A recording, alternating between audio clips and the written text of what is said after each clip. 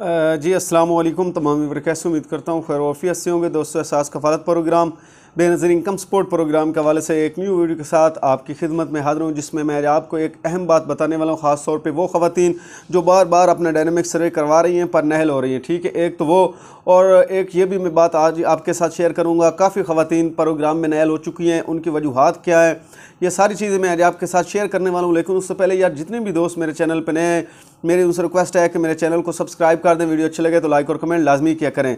दोस्तों Ehsaas Kafaalat programme, Benazir income support programme और हुकूमत की जानब से जितने भी गरीब दोस्त प्रोग्राम होते हैं, मैं उन पर वीडियो बनाता रहता हूँ, इस चैनल पर डालता रहता हूँ, इसलिए जितने भी दोस्त मेरे चैनल को विज़िट कर रहे हैं, मेरी उनसे रिक्वेस्ट है कि चैनल को लाजमी सब्सक्राइब किया करें। यार, आपके एक सब्सक्राइब से हमें काफ़ी खुशी मिलती है। तो सबसे पहले मैं उन खवतिन को बता दूँ कि जो बार बार अपना डायनामिक सर्वे करवा रही हैं, पर नहल हो रही है। वजूहत क्या है? एक तो सबसे पहले मैं आपको बात बता दूँ कि आपकी फैमिली अगर छोटी है तो आप सर्वे ना करवाएँ, ठीक है? अगर आपका एक बच्चा है तो भी आपको बार बार नहल कर दिया जाएगा। तो इसलिए आप अपना सर्वे मत करवाएँ। जिन खवतिन के बच्चे भी नहीं हैं, वो बार बार सर्वे करवा रही हैं। उनसे भी मेरी माजरत है कि आप बार बार दफ्तरों के चक्कर ना काटें, क्योंकि अगर आप जाएँगी, अपना सर्वे करवाएँगी, अपना टाइम भी ज़ाया करेंगी, पैसा भी ज़ाया करेंगी, उसके बावजूद भी आपको नैल कर दिया जाएगा। तो इसलिए आप ना जाएँ सर्वे करवाने के लिए। पहले मसला और था, अब इन्होंने जो है वो नादरे के साथ फिक्स कर दिया बी एस पी को।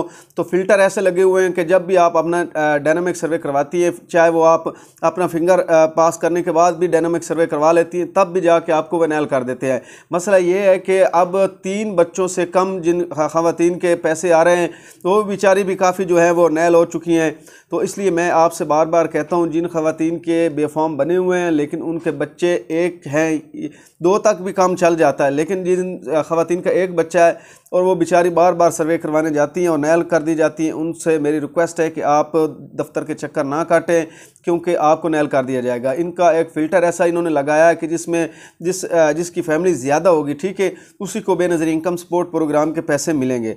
और दूसरा, जिन खवतिन को पैसे मिलते थे और दोबारा उनको नैल कर दिया था, उनकी भी काफ़ी वजूहत है। एक तो ये वजूहत है कि काफ़ी खवतिन अगर आपके नाम पर ज़मीन है या कोई भी आपने कर्ज़ा वगैरह लिया हुआ किसी और जगह से तो इसलिए भी आपको नैल कर दिया जाता है। आप अगर फाइलर हैं बैंक की तरफ़ से, आपने गोशवारे जमा करवाए हुए हैं और आप टैक्स बचाने के लिए आपने अपना जो है फाइलर का अकाउंट बनवा लिया तो फिर भी आपको नैल कर दिया जाएगा, या आपके नाम पे कोई ज़मीन है तो भी आपको नैल कर दिया जाएगा। तो इसलिए इन चीज़ों का आपने ख्याल रखना है, वही ख़वान अपना डायनेमिक सर्वे करवाने जाएँ, जिनके ये दूसरा हर चीज़ पूरी हो, एक तो बच्चे, बच्चों का भी फॉर्म होना लाजमी है। मैंने आपको बताया कि जिनके तीन बच्चे हैं, उनको तो ईजी हो के अपना डायनामिक सर्वे करवा लेना चाहिए, क्योंकि उनके पैसे आ जाने अगर एक बच्चा है तो उनके चांस कम है, दो बच्चे हैं तो भी उनके फिफ्टी फिफ्टी चांस होते हैं, ठीक है?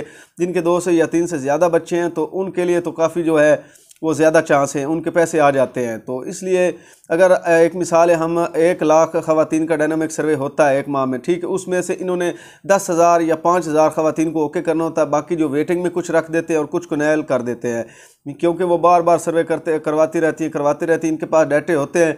जब भी वो आप सर्वे करवा के वापस आते हैं उसी वक्त आपके पोर्टल पे आपको लिख दिया जाता है कि आपका डायनामिक सर्वे हो चुका है, लेकिन आपको इसके लिए इस प्रोग्राम में नैल कर दिया गया है। तो आपको ये इन चीज़ों का ख्याल रखना चाहिए बेफॉर्म मस्ट होना चाहिए, उसके बाद शादीशुदा होने का दूसरा आईडी कार्ड आपका बना होना चाहिए, इन चीज़ों के साथ आप जाके अपना डायनामिक सर्वे करवा सकती हैं। किसी भी बाइक को अगर बेनज़र इनकम सपोर्ट प्रोग्राम के हवाले से कोई भी मालूम चाहिए तो वो मेरे चैनल को लाजमी सब्सक्राइब करें और मुझसे कमेंट में पूछ सकता है। इन जितना भी हो सके मैं आपकी हेल्प करूँगा। शुक्रिया।